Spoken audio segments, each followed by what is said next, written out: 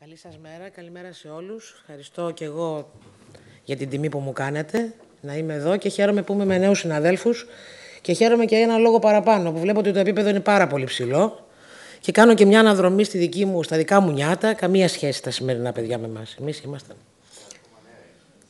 Ε, όχι δα. λοιπόν, ε, να ξεκινήσουμε λίγο τις ερωτήσεις. Ε, θα μιλήσω για την ανεμία όπως είδατε. Θα προσπαθήσω μάλλον μπροστά στον κύριο Τσακύρη. Ε, να αρχίσουμε τις ερωτήσεις; Εγώ θα πρέπει να κάνω κάτι. Διαβάζεις, διαβάζεις και κατευθύνεις. Διαβάζεις, Α, ε, ξεκίνησα, το, ναι. λες τον τίτλο και τις επιλογές. Καθίστε λιγάκι να οργανωθώ για το... Ωραία.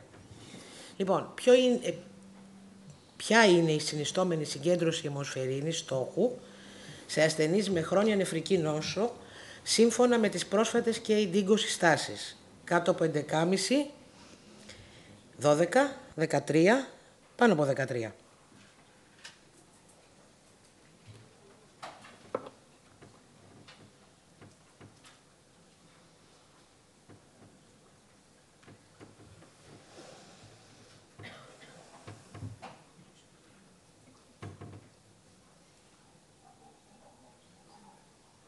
Μάλιστα. Ποιο είναι το σημαντικότερο αίτιο μεταβλητότητας της αιμοσφαιρίνης. Τα στενά όρια των τιμών στόχου της αιμοσφαιρίνης, οι συχνές αλλαγές των δόσεων ερυθροποιητίνης, η απαντητικότητα των ασθενών στην αγωγή με ερυθροποιητίνη ή οι νοσηλίες και η συνυπάρχουσα νοσηρότητα.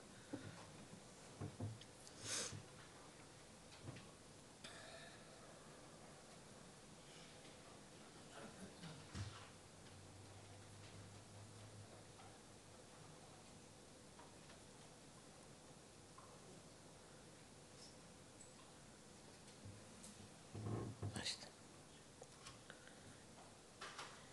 Ποιο είναι το κύριο αίτιο υποαπαντητικότητας στη, χρο- ε, στη χορηγούμενη ερυθροποιητίνη. Η οξία χρόνια φλεγμονώδης διεργασία, η οξία χρόνια απώλεια αίματος, η ανεπάρκεια σιδήρου ή ο δευτεροπαθής υπερπάρα που αντιμετωπίζεται ανεπαρκώς.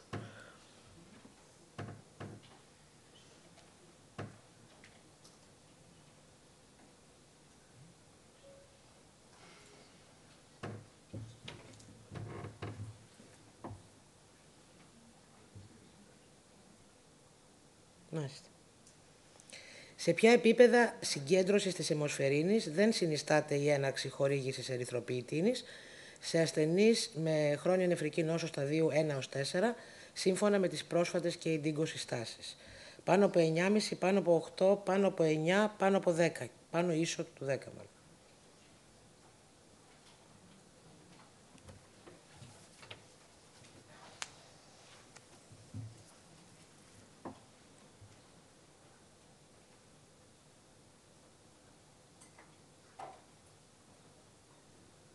Μάλιστα.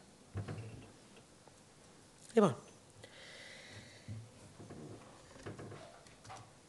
Είναι γνωστό σε όλους και από τους προηγούμενους ομιλητές ότι τα στάδια της χρόνιας νεφρικής νόσου είναι πέντε. Η ανεμία ως ε, ανεμία χρόνιας νόσου, νορμόχρωμη νορμο- νορμοκυταρική, μπορεί να βρίσκεται και στο στάδιο 1 και στο στάδιο 2, αλλά βασικά η έναρξή της αρχίζει από το στάδιο 3, όταν ο ρυθμός πειραματικής διήθησης είναι κάτω από 30 ε, σε μη διαβητικούς και κάτω από 45 σε διαβητικούς ασθενείς.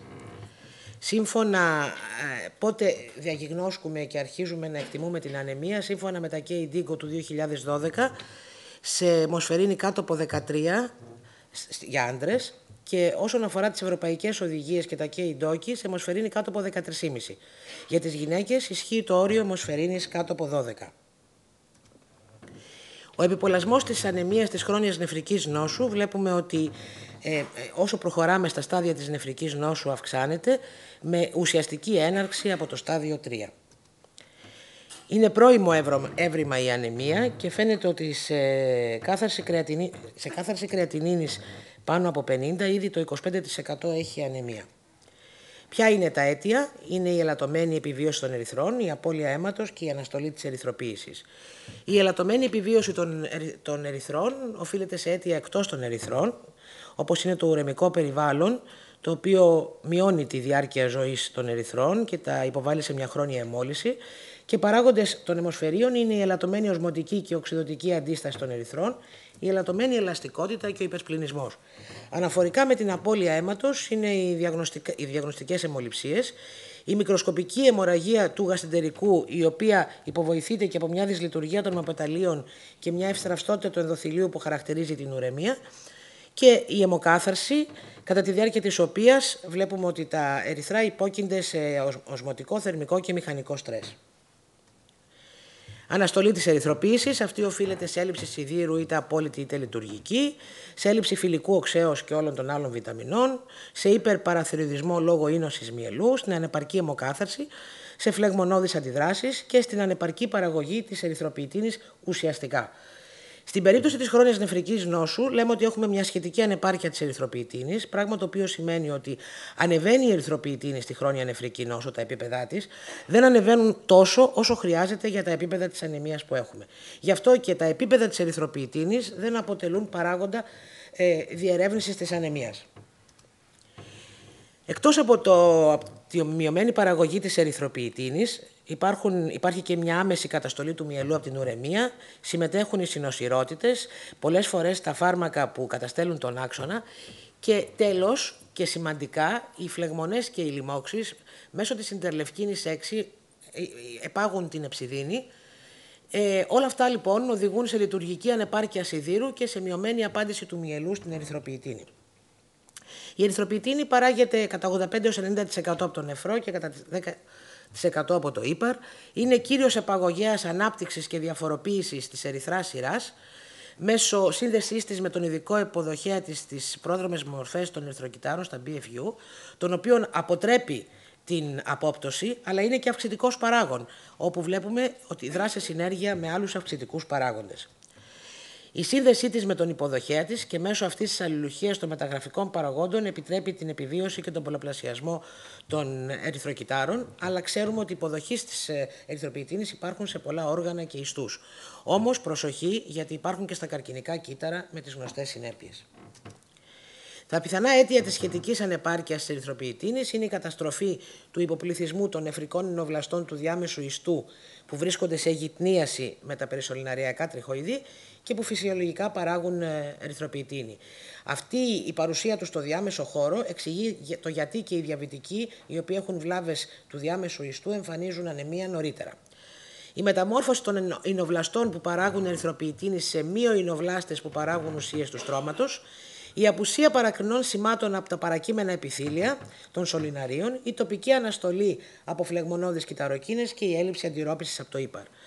Υπάρχουν όμως και άλλες δράσεις όπως η αύξηση της παραγωγής ενδοθυλίνης, της συστικής παραγωγής ρενίνης, της αγκιογέννησης, η μεταβολή της παραγωγής προς τα γλαδινών προς αγκιοσυσπαστικές και η διέγερση του πολλαπλασιασμού των ενδοθυλιακών και λίων μυϊκών κυτάρων των αγκίων, δηλαδή η τροφική δράση που έχει η ερυθροποιητίνη.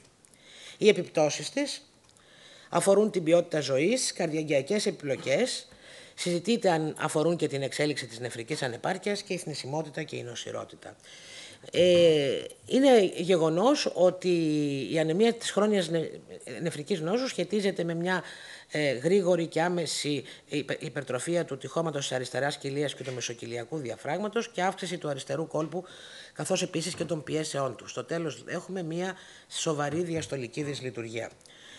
Οι τρεις αυτές οντότητες βρίσκονται σε μια αλληλεξάρτηση, κλασική διαφάνεια, όπου η χρόνια νεφρική νόσος μεσομίας ερυθροποιητίνης οδηγεί σε ανεμία, η οποία είναι και ανεξάρτητος παράγοντας κινδύνου για καρδιακή νόσο.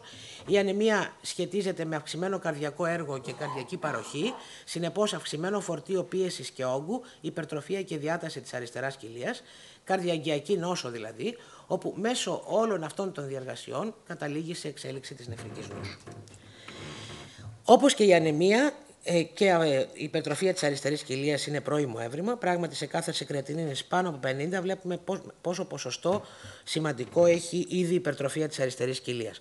Όταν φτάνουν στην αιμοκάθαρση οι ασθενείς, ε, ένα μεγάλο ποσοστό έχει υπερτροφία αριστερής κοιλίας, ένα μικρότερο ποσοστό διάταση και ή και και, συστολική, και ένα μικρότερο ακόμα ποσοστό συστολική δυσλειτουργία. Αλλά και στους ε, ασθενείς υπό αιμοκάθαρση η ανεμία είναι δολοφόνος, γιατί φαίνεται ότι για κάθε, ρυθμό πτώση, κάθε βαθμό πτώσης της αιμοσφαιρίνης κατά ένα γραμμάριο NDL, ο κίνδυνος διάτασης αριστεράς κοιλίας αυξάνεται κατά 42%. Επίσης, η υπερτροφία της αριστερής κοιλίας μειώνει την επιβίωση των ε, ασθενών. Αναφορικά με τη θνησιμότητα και την νοσηρότητα, από αυτή τη μελέτη, το, τη μελέτη DOPS, ο Λοκατέλη μας είπε ότι φάνηκε ότι όσο πέφτει η αιμοσφαιρίνη, τόσο αυξάνεται ο σχετικός κίνδυνος θανάτου και εισαγωγής στο νοσοκομείο. Και τα ίδια πράγματα μας είπε και η Ρέτζιντορ και οι συνεργάτες ε, επί 58.000 αιμοκαθερώμενων ασθενών ότι πέφτοντας η αιμοσφαιρίνη ανεβαίνουν τα αίτια συνολικής θνητότητας αλλά και καρδιαγγειακής θνητότητας. Αναφορικά με την εξέλιξη της νεφρικής ανεπάρκειας, ήδη από το 2001 φάνηκε ότι οι ασθενείς που, που παίρναν ερυθροποιητίνη σε σχέση με αυτούς που δεν έπαιρναν ερυθροποιητίνη, ε, αυτοί που έπαιρναν ερυθροποιητίνη άργησαν περισσότερο να μπουν σε αιμοκάθαρση. Σε αυτή την κλασική μελέτη της κυρίας Γκούβα, ε, φάνηκε ότι σε ασθενείς στους οποίους δόθηκε ερυθροποιητίνη και σε αυτούς που δεν δόθηκε ερυθροποιητίνη, μετά από 12 μήνες, αυτοί που πήραν ερυθροποιητίνη είχαν μεγαλύτερη κάθαρση κρεατινίνης σε σχέση με τους άλλους και μάλιστα αυτοί που μπήκαν νωρίτερα σε ερυθροποιητίνη, στα αρχικά στάδια, είχαν μείωση κατά 60% του κινδύνου να ξεκινήσουν ε, αιμοκάθαρση ή να πεθάνουν. Αλλά και σε αυτή τη μελέτη φαίνεται ότι για κάθε πτώση της αιμοσφαιρίνης κατά ένα γραμμάριο, ο σχετικός κίνδυνος τελικού σταδίου, τελικού σταδίου και θανάτου ανεβαίνει κατά 11%. Η δευτερογενής αυτή ανάλυση της Ρενάλ δείχνει τα ίδια πράγματα. Χαμηλή αιμοσφαιρίνη, πολύ αυξημένος κίνδυνος διπλασιασμού της κρεατινίνης ή ε, τελικού σταδίου. Αλλά και η ποιότητα ζωής σχετίζεται. Κλασικά, όσο πέφτει η αιμοσφαιρίνη, έχουμε πρόβλημα και με την ποιότητα ζωής. Άρα, η ανεμία της χρόνιας νεφρικής νόσου πρέπει να διορθώνεται και να θεραπεύεται. Πρέπει να παρακολουθείτε στο προτελικό στάδιο ανά τρεις μήνες, στο τελικό ανά μήνα και φυσικά εφόσον υπάρχει κλινική ένδειξη. Εργαστηριακή εκτίμηση χρησιμοποιούνται όλοι αυτοί οι παράγοντες και όσοι από αυτούς είναι δυνατόν να χρησιμοποιηθούν στα εργαστήρια που διαθέτουμε. Η θεραπεία της ανεμίας στηρίζεται στις μεταγγίσεις, στη χορήγηση σιδήρου, στη χορήγηση ερυθροποιητικών παραγόντων και από το 89 μπήκαν οι, οι ερυθροποιητικοί παράγοντες στη ζωή μας. Μέχρι τότε δίναμε μεταγγίσεις και σίδηρο. Σήμερα η σειρά που ακολουθείται είναι σίδηρος, ερυθροποιητικοί παράγοντες μεταγγίσεις. Οι οδηγίες για τις μεταγγίσεις πρέπει να αποφεύγονται, λένε. Και μάλιστα σε ασθενείς που είναι κατάλληλοι για μεταμόσχευση για να μην ευαισθητοποιηθούν. Και οι, οι μεταγγίσεις πρέπει να γίνονται σε περιπτώσεις που τα ωφέλη περνικούν το ρίσκο, σε αιμοσφαιρινοπάθεια, σε αντίσταση στους ΕΖΑ, σε ανεπάρκεια μυελού, σε ατομικό ιστορικό κακοήθεια, σε αγκιακά εγκεφαλικά επεισόδια κλπ. Και φυσικά στις οξύες καταστάσεις. Τώρα, η απόφαση να μεταγγίσουμε έναν ασθενή με μη ανεμία δεν πρέπει να βασίζεται σε συγκεκριμένο ουδό αιμοσφαιρίνη, αλλά στην κλινική εικόνα και στις ανάγκες. Ο σίδηρος μπορεί να χρησιμοποιείται σαν θεραπεία από μόνος του ή σε συμπληρωματική με τους ΕΖΑ.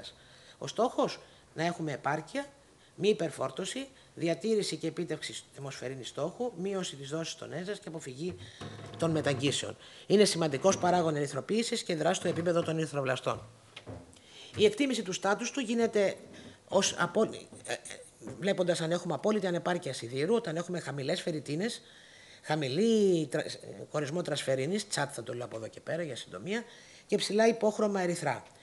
Ε, μπορεί να υπάρχει και λειτουργική ανεπάρκεια σιδήρου, η οποία χαρακτηρίζεται από ψηλά επίπεδα φερριτίνης και χαμηλά επίπεδα τσάτ.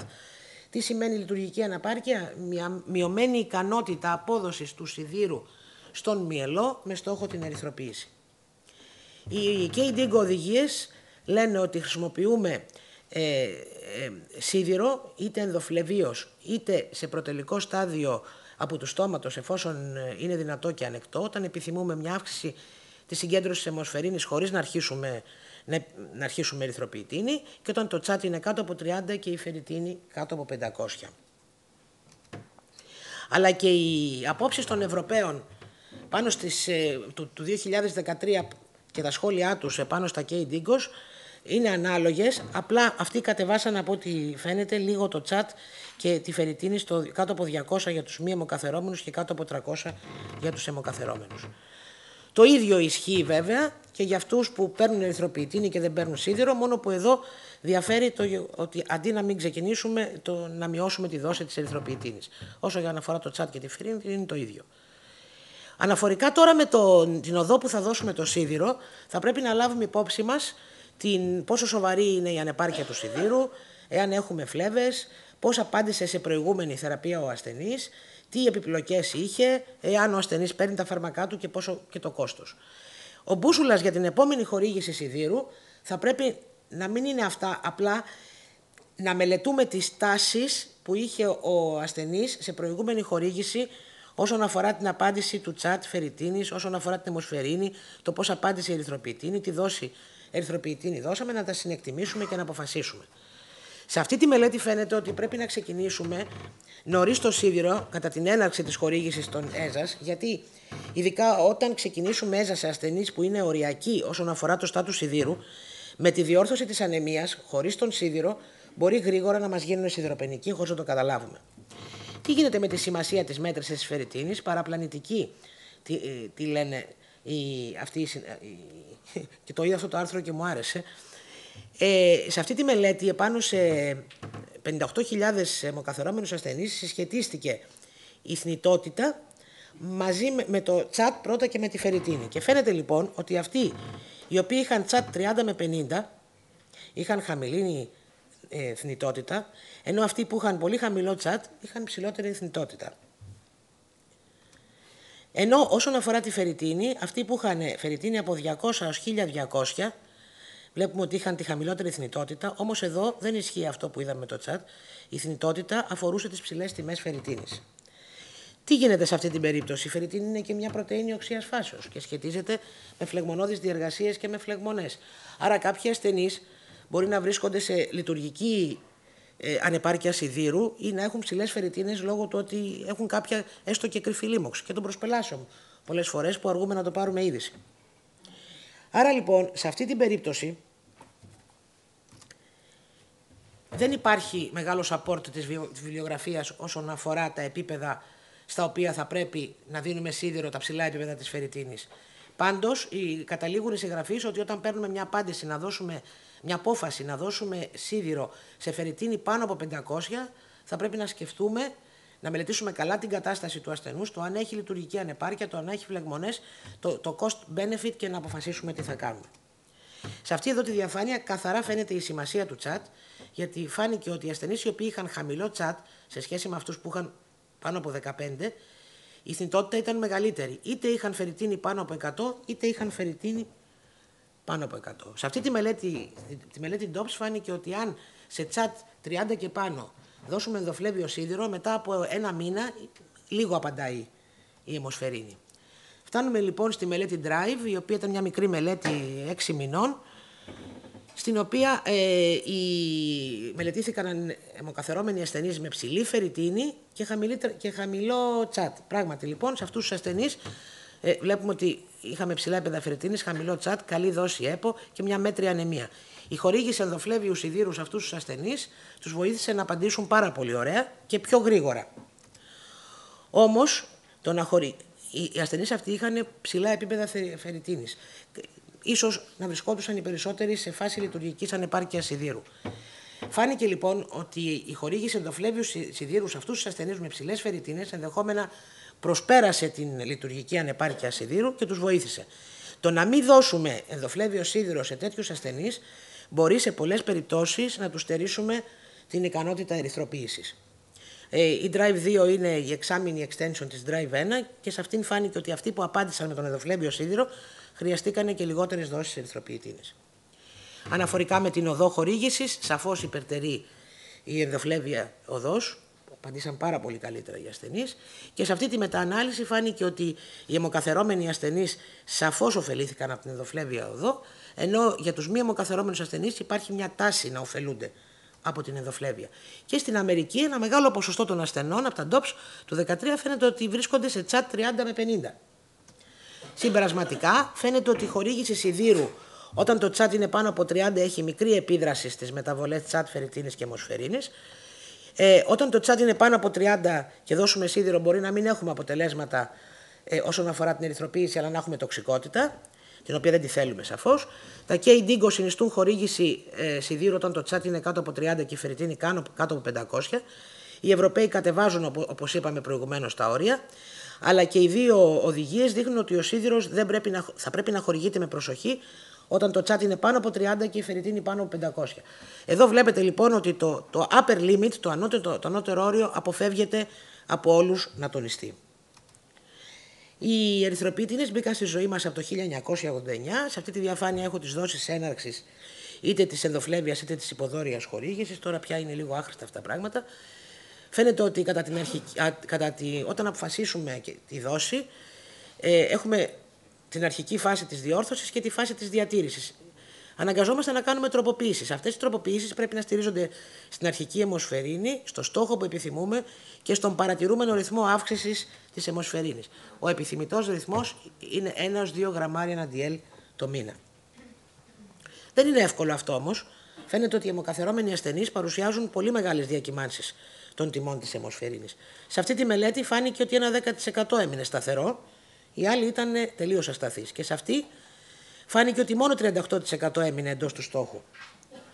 Οι παράγοντες που επηρεάζουν τη διακύμανση είναι η σιδηροκινητική, η αλλαγή δόσης των ερυθροποιητικών παραγόντων, η νοσηλεία στο νοσοκομείο, η συνυπάρχουσα νοσηρότητα, η απαντητικότητα των ασθενών στην αγωγή με ερυθροποιητικού παράγοντες, ποικίλοι, με πλέον ευαίσθητους αυτούς τους ασθενείς που εμφανίζουν υψηλές διακυμάνσεις.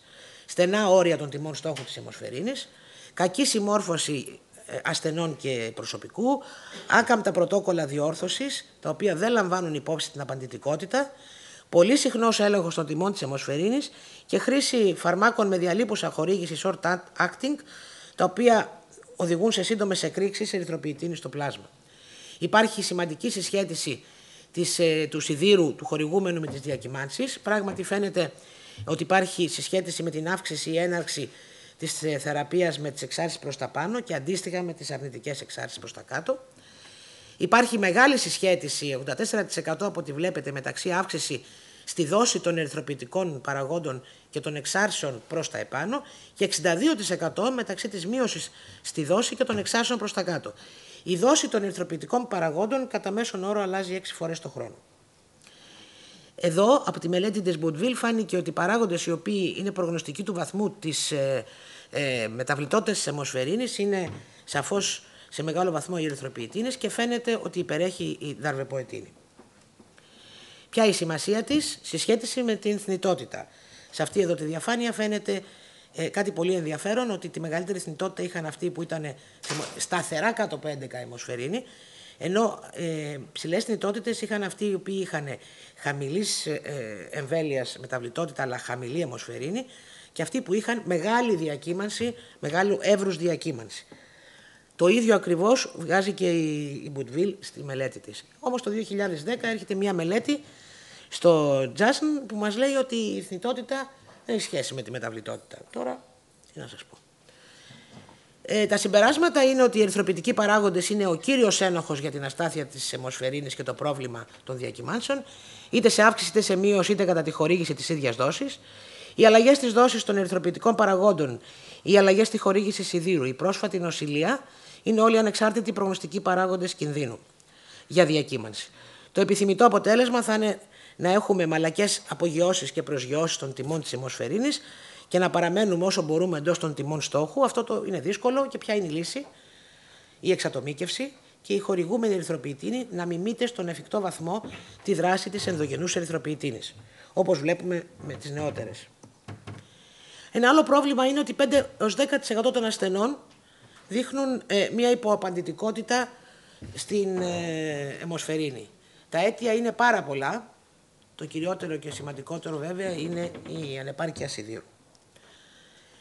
Φαίνεται λοιπόν ότι αυτοί οι οποίοι απαντάνε καλά στην ερυθροποιητίνη έχουν και καλύτερη ε, επιβίωση. Άρα αυτοί που δεν απαντάνε. Σε αυτή τη μελέτη του 2013 φαίνεται ότι, αυτή που, ε, ε, που, ότι η υποαπαντητικότητα στην ερυθροποιητίνη που αναγκάζει και, μας αναγκάζει να δώσουμε και ψηλότερες δόσεις ερυθροποιητίνης σαφώς σχετίζεται με μεγαλύτερη θνητότητα. Σε ποιο βαθμό πρέπει να διορθώνουμε την ανεμία; Και ποιος είναι ο στόχος; Αυτό το δολάριο το έβαλα γιατί πρέπει να λάβουμε υπόψη μας ότι τώρα τελευταία μπαίνει και το δολάριο στη μέση. Βλέπετε ότι περάσαμε από 40 κύματα αυτές οι οδηγίες και κάποια στιγμή καταλήγουμε στο Κιθακέι Ντίγκο του 2012, τα οποία ε, ας πούμε χοντρικά συστήνουν έναρξη ερυθροποιητίνης αιμοσφαιρίνη κάτω από 10, ε, επιμένουν για εξατομίκευση του στόχου, προσ, ε, συνιστούν προσοχή των ασθενών με ιστορικό κακοήθειας ε, ή με ενεργό κακοήθεια και με ιστορικό αγκιακό εγκεφαλικού. Πώς στάσαμε εδώ; Σε αυτή τη μελέτη της ΜΑ φάνηκε ότι οι έχοντες χαμηλό αιματοκρίτη έχουν μεγαλύτερη πιθανότητα καρδιακού θανάτου, είτε είναι διαβητικοί είτε όχι. Όμως έχουν και καλύτερη ποιότητα ζωής.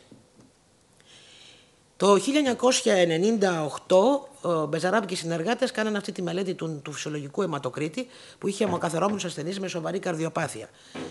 Έτσι λοιπόν τυχιοποίησαν αιματοκρίτες 43 και 30 και φάνηκε ότι αυτοί που είχαν ψηλό αιματοκρίτη και ψηλή αιμοσφαιρίνη σαφώς είχαν περισσότερους θανάτους και περισσότερα εμφράγματα. Έρχεται μετά η καναδική μελέτη το 2000, η οποία λέει ότι αν διορθώσουμε την αιμοσφαιρίνη σε φυσιολογικά επίπεδα, δεν διορθώνουμε τη συγκεντρική υπερτροφία της αριστερής κοιλίας, ούτε τη διάταση. Μπορεί να προλάβουμε την προοδευτική διάταση όταν ξεκινάμε από φυσιολογικά επίπεδα. Καλύτερη ποιότητα ζωής. Ίσως ε, μέχρι εδώ να πάρουμε ένα μήνυμα πάρα πολύ σημαντικό ότι είναι ωφέλιμο τα φυσιολογικά επίπεδα του, του αιματοκρίτη να διατηρούνται στα αρχικά στάδια της χρόνιας νεφρικής νόσου πριν ε, οδηγηθούμε σε υπερτροφία και, καρδιακή ή καρδιακή ανεπάρκεια. Το να διορθώσουμε δηλαδή είναι δύσκολο. Το 2006 έχει τη μελέτη Create, της οποίας ήταν και, ε, πώς το λένε, στο, ο κύριος Τσακύρης από τα πρώτα ονόματα, οφείλω να το πω, ε, στην οποία πάλι έγινε τυχιοποίηση μεταξύ ψηλών τιμών και χαμηλών τιμών.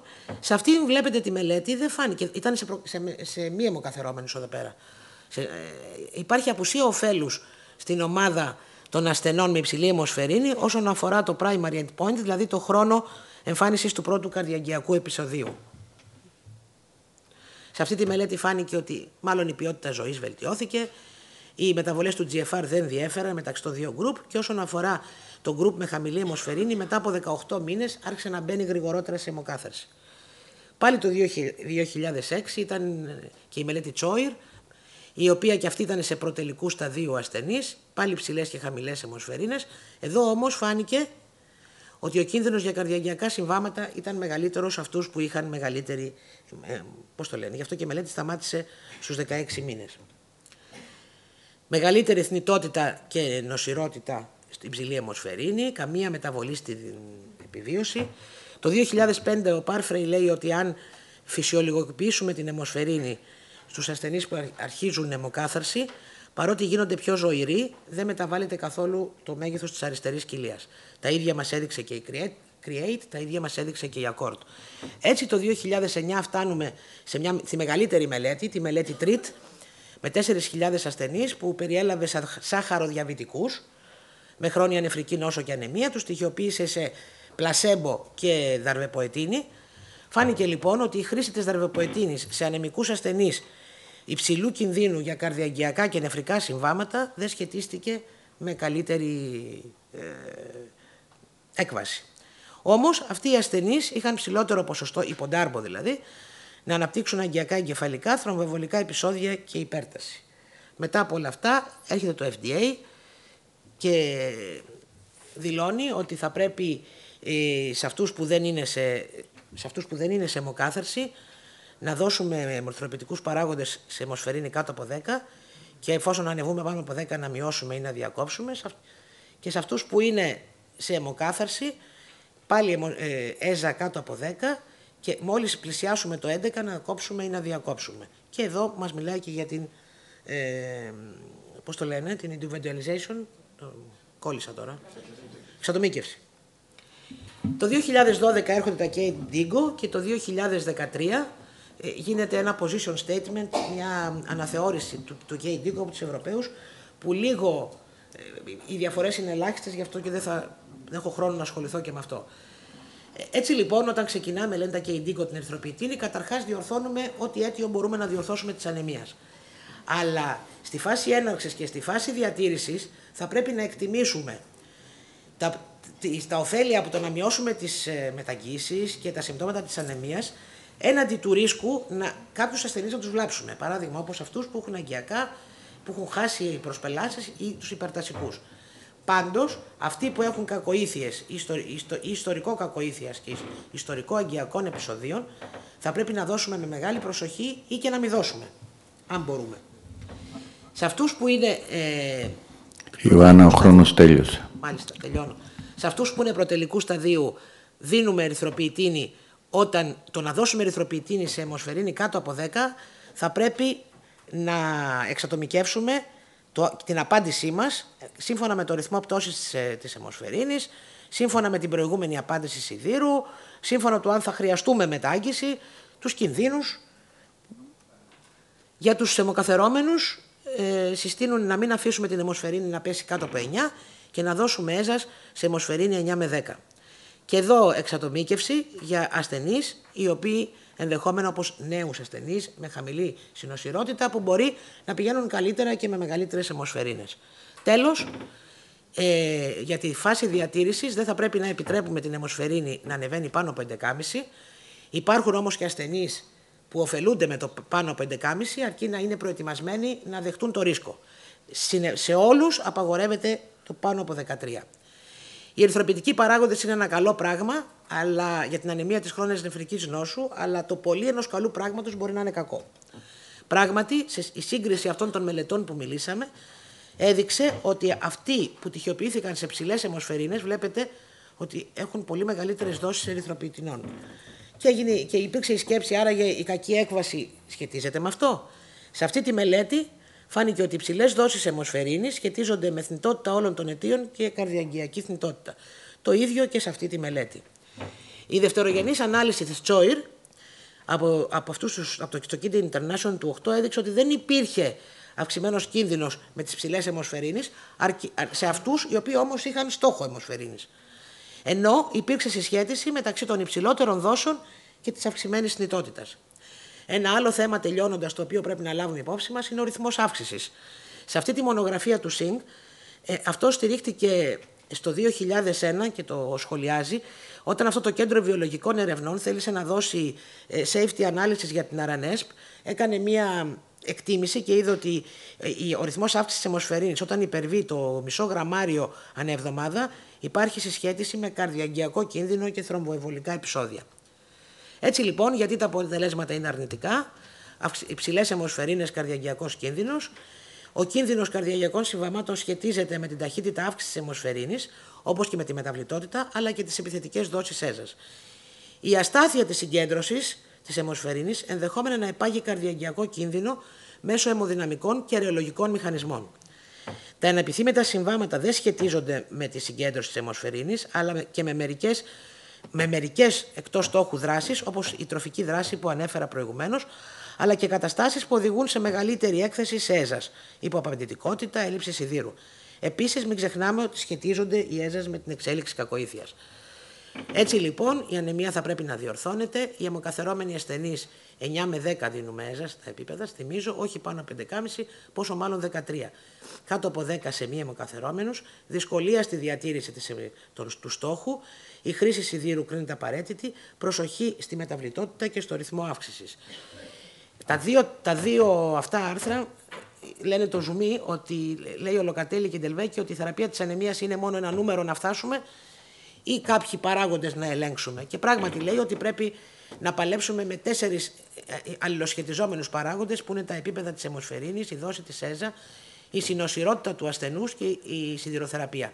Η εξατομίκευση είναι το ακρογωνιαίος λίθος. Και ο Σινκ πάλι σε αυτή τη μονογραφία λέει ότι παρότι τα ντίγκος λένε ότι βάζουν ανώτατο και κατώτατο όριο 9 και 11,5 και το θεωρούν ότι είναι για έναν μέσο ασθενή ε, σωστό, στην κλινική πρακτική δεν υπάρχει μέσος ασθενής. Κάθε ασθενής έχει τη δική του συνοσυρότητα και το δικό του βαθμό ανοχής ε, στην ανεμία. Ανεξάρτητα από ποια οδηγία θα ακολουθήσουμε, το σημαντικό είναι να μελετήσουμε τον ασθενή και το cost benefit της πράξης μας. Ευχαριστώ πάρα πολύ για την προσοχή σας. Ευχαριστούμε πάρα πολύ, Ιωάννα, για αυτή την αναδρομή. Ε, να δούμε τις ερωτήσεις. ποια είναι η συνιστόμενη συγκέντρωση αιμοσφαιρίνης στόχου σε ασθενείς με χρόνια νεφρική νόσο σύμφωνα με τις πρόσφατες και ιντίγκο συστάσεις;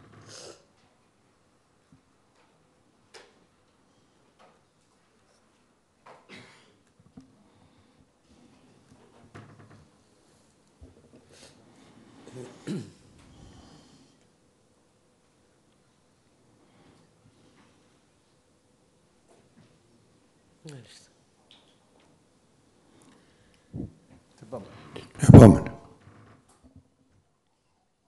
ποιο είναι το σημαντικότερο αίτιο μεταβλητότητας της αιμοσφαιρίνης; Να μην τα, μην τα πω, τα διαβάζουν τα παιδιά τώρα. Ε.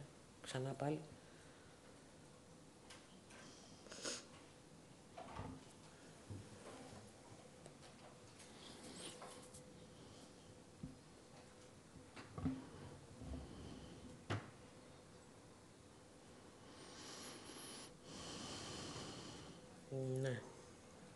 Ποιο είναι το σωστό; Οι αλλαγές ε, των δόσεων της ερυθροποιητίνης.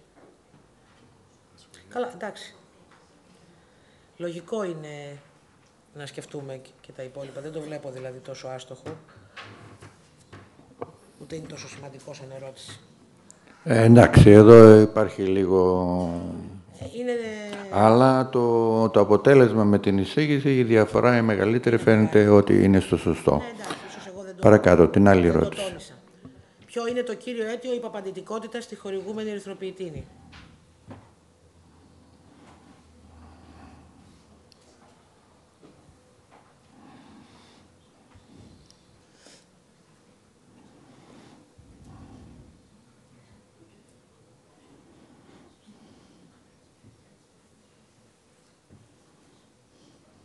Μμμ, μάλιστα. Ωραία. Σε ποια επίπεδα συγκέντρωσης της αιμοσφαιρίνης δεν συνιστάται η έναρξη χορήγησης ερυθροποιητίνης σε ασθενείς με χρόνια νεφρική νόσο στα 2-1-4 σύμφωνα με τις πρόσφατες και ιντίγκο συστάσει.